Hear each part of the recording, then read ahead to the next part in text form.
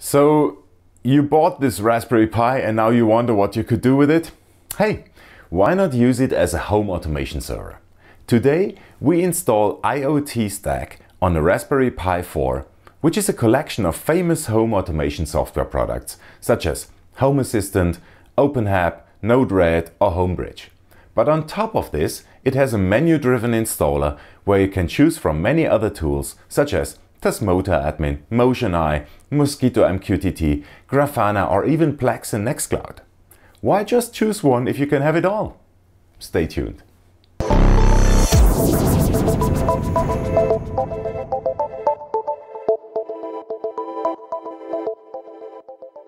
Guys, please use the chapter markers and the timeline if you want to skip parts of the video. You can see the sections here on the timeline. Those are the chapters. I have also put them into the description. Rather than building everything from scratch, we can use the existing IoT Stack project. The project has been hosted by Graham Garner from South Africa. It was inspired by YouTuber Andreas Spiess, the guy with the Swiss accent. You can find his channel in my featured channels list and also I've put a link to his first video about IoT Stack up here. So kudos to Graham and Andreas for bringing this forward. Many thanks guys. I assume that you have a running Debian Linux on your Raspberry Pi 4 and that you are potentially booting from an SSD drive. If you don't know how to do this, then please watch my video on this. There is a card up here on this little info icon and the link to the video is also in the description of this video. Graham Garner's original project has stalled, so the most active fork of this project is actually Andreas Spiess himself. So let's follow his installation instructions and start by installing Git and then pull the project from his GitHub repository. I'm logged into the Pi using SSH. So first, let's make sure that we have Git and curl installed. We will use Git in order to clone the project from Andreas' GitHub repository and curl in order to download stuff from the internet. In order to clone the repository, we need to type git clone and then the URL of the repository, followed by a folder name where we want to put it. Once we have pulled it into the IoT stack subdirectory, we can then cd into that folder and launch the menu.sh. We select the first option, install Docker, and that will actually launch the Docker installation script, which also installs all dependencies.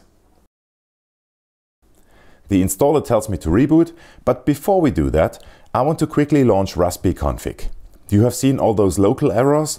I just want to quickly install the locales for German and English and set the default locale of my system to English.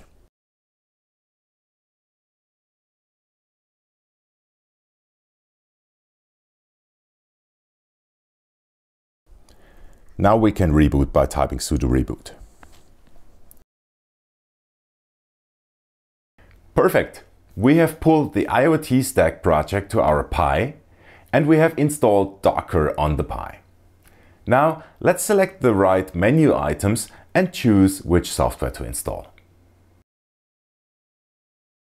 Let's again SSH into the Pi and call the IoT Stack menu. Once we select the second menu item, which is called Build Stack, we can select all the software components which we want to install in Docker containers. Now, feel free to install whatever you want, but I need to give a little warning here. Even the Raspberry Pi 4B has its limits, so you might want to limit yourself to the software which you are really planning to use. Even though I admit that the temptation is high to select everything. Once we quit the menu, we can then start the stack. The menu script has created a docker compose YAML file, and in order to start it, we just need to type docker compose up-d. Now Docker starts to pull all the required images, builds the containers, and ultimately starts them. This process may take a couple of minutes. Once the process finishes, we can check if everything is up by browsing to port 9000 on our Raspberry Pi and open Portainer.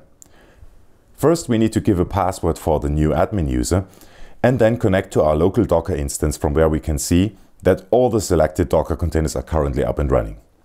Under Published Ports, you can see the ports that you would need to connect to in order to use the various products.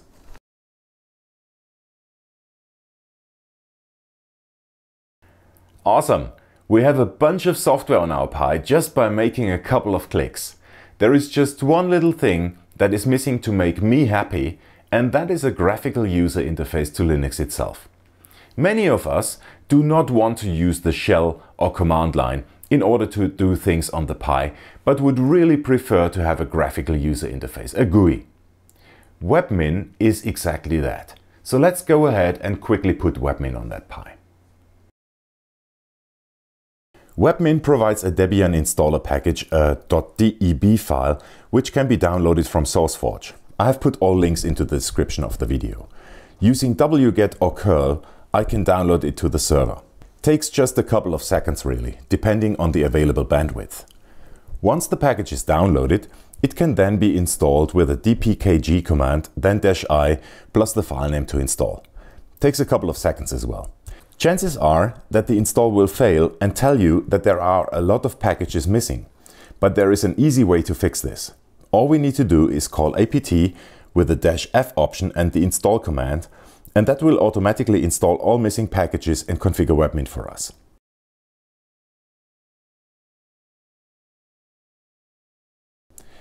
Just checking if the Webmin service is running by typing service webmin status and yes, it's running. So we can connect to it using our browser. Webmin answers requests on port 10,000. So I need to type the address of my Pi followed by colon 10,000. As I have no certificate installed, I get a warning, but I can confirm the exception. Here we go. The first thing that Webmin shows me is that nice dashboard outlining system information such as the CPU or memory load. From within Webmin, I can now do things such as check the file systems, check the running processes, or install software on the Pi. I can configure the firewall or upgrade outdated software packages.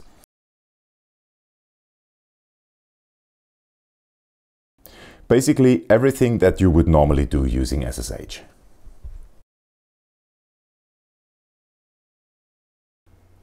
Perfect! Here we go. We have a running Raspberry Pi 4 with the full home automation stack from IoT Stack plus Webmin. We can now start using the software and automate stuff in our home. Plus, we can do all the administrative tasks with graphical user interfaces. Actually, I have a little call to action for you. I need you to get involved. I would like to hear from you if you are using a Raspberry Pi and if you are really using it or if it rather lives in a drawer. Also, I'd love to learn from you if you are using home automation software of any kind and if yes, which one. Guys, many thanks for your feedback. Perfect. That actually concludes today's episode. I hope it was useful for you and I hope you liked it. If so, please do leave me a thumbs up leave me a comment on YouTube and subscribe to my channel. Many, many thanks for watching. Stay safe, stay healthy. Bye for now.